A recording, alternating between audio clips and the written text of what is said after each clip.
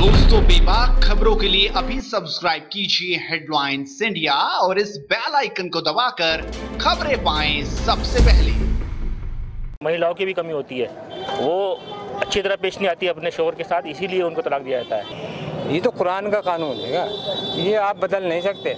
अगर आप हदीस के अलावा हमारे से कुछ कहना चाहते नहीं तो वो नहीं हम कर सकते। उसमें चाहे जान भी चली जाए। कुरान के लिखे हुए अक्षर आप मिटा नहीं सकते। ये इस्लाम मजहबी मामला है। इसमें कोर्ट को दखल नहीं दे सकती। नमस्कार मैं हूँ नवीन चौहान। तीन शब्द हैं तलाक तलाक और तलाक। और इन तीन शब्दों ने ही कई महिलाओं की जिंदगियों को तबाह कर दिया। ऐसा में सवाल यह है कि अब यह मामला सुप्रीम कोर्ट में है और देश का मुसलमान अब क्या सोचता है? तो सीधा बात देश के मुसलमान से करते हैं। तलाक का जो लोग गलत इस्तेमाल कर रहे हैं उसके लिए एक अलग से कानून बनाओ। उसके इसमें इस्लाम मज़हब में हस्तक्षेप मत करो। उसके लिए एक अलग से कानून बनाओ कि ऐसे लोगों को इस तरह की सजा दी जाएगी। और जो गलत तरीके से महिलाओं जो गलत तरीके से महिलाओं को छोड़ रहे हैं उनको सज़ा मिलनी चाहिए। और उसमें जो है सुप्रीम कोर्ट भी सज़ा दे सके और उर्माई दिन भी सज़ा दे सके। शरीयत कहेगी उस पर चलना पड़ेगा मैं तो। है ना? जिस जो शरीयत कह रही है उस पर चलना पड़ेगा। बात तो यह है। कानून बनना चाहिए हक पे। जो हक है। जो हमारी शरीयत चाह चाहे महिला हो चाहे मर्द हो उस पर चलना पड़ेगा। हमारी सोच तो गलत मजहबी मामला है। आप इसको कुरान में से हटा नहीं सकते, क्योंकि ये मजहबी है। अगर इसमें आप घुसेंगे तो नुकसान उठाएँगे। कुरान के लिखे हुए अक्षर आप मिटा नहीं सकते। जब तक क़यामत रहेगी, जब तक रहेगा ये कानून। इसमें नहीं तोड़ जोड़ कर सकते आप। ये तो कानून है, जब तक दुनिया बनी है, जब तक रहेगी। कुरान हमारा अमल रहेगा। जो स्त्री का आना ना हो वो वो निर्णय लेना चाहिए सुप्रीम कोर्ट को। और शरीयत को भी मतलब स्त्री का आना ना होना चाहिए। ये मैं इसके समर्थन में हूँ। तो गलत है ना कि तीन तलाक के बारे में आप इतना रुक्का उठ- रखा आपने कि तीन तलाक चाहिए तीन तलाक ना जायज़ है ना जो कुरान का फैसला है वो तो वो ही रहेगा। हर चीज़ क्या वो तो कानून तो तुम अपना बनाइए ये हिंदुस्तान हैगा। कानून अपना बनाइए हुकूमत अपना कानून बनाए।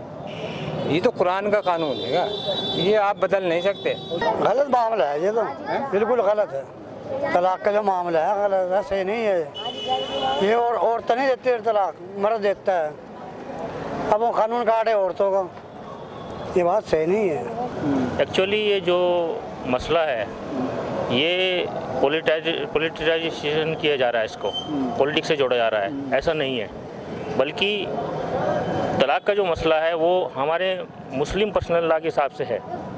इसमें ऐसा नहीं है कि इसमें कोई कंट्री या कोई प्राइम मिनिस्टर या कोई कुछ कर सकते, कर सकता है। ये हमारा अपना रिलीजन का मामला है। ये रिलीजन के हिसाब से ही सॉल्व होना चाहिए। इसमें कोर्ट वगैरह को कुछ नहीं करना चाहिए। महिलाओं की भी कमी होती है। वो अच्छी तरह पेश नहीं आती अपने शोर के साथ, इसीलिए उनको तलाक दिया जाता है। देखो, जो महिलाएँ इस बात किस मुद्दे को उठा रही हैं कि ऐसा होना चाहिए। ये कोई नया मुद्दा तो है नहीं। है नहीं? 1400 साल से जो कुरान के अंदर जो फैसला लिया है, जिस पर वो ईमान लाई हैं, जिसको जिसको मान के वो ये कहती हैं कि हाँ मैं मुसलमान हूँ। अगर उस कानून को वो मानती हैं तो वो ईमान वाली हैं, है नहीं? और वो इस कानून को नहीं मानती हैं तो इस्लाम में उनका कोई हिस्सा नहीं है। कानून का फ़ायदा उठा रहे उनको तो सज़ा मिलनी ही चाहिए।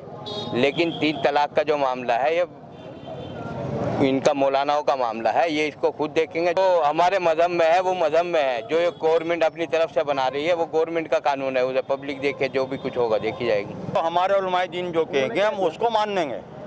जो उलमाए दिन कह रहे हैं उनकी बात मान लेंगे। क्या कह रहा है कि हमारे उलमाए दीन जो कह- सजा मिलनी चाहिए मगर हमारे उलमाए दीन जो कह रहे हैं अगर आप ये कहते हो ना कि हदीस से हटके वो तो आप गलत कह रहे हैं। अगर उलमाए दीन कह रहे हैं ना ये तो हदीस के मुताबिक है ना। जो अल्लाह ने हमारे यहाँ जो फैसला लिखा है कुरान का जो अल्लाह ताला जो कहेगा जो अटल है वो तो अटल रहेगा जो कुरान में लिख दिया। अब जो सुप्रीम कोर्ट कहेगा कोई कुछ कहेगा हम उसी बात को आदेश नहीं करेंगे हम उसको बात को नहीं मानेंगे।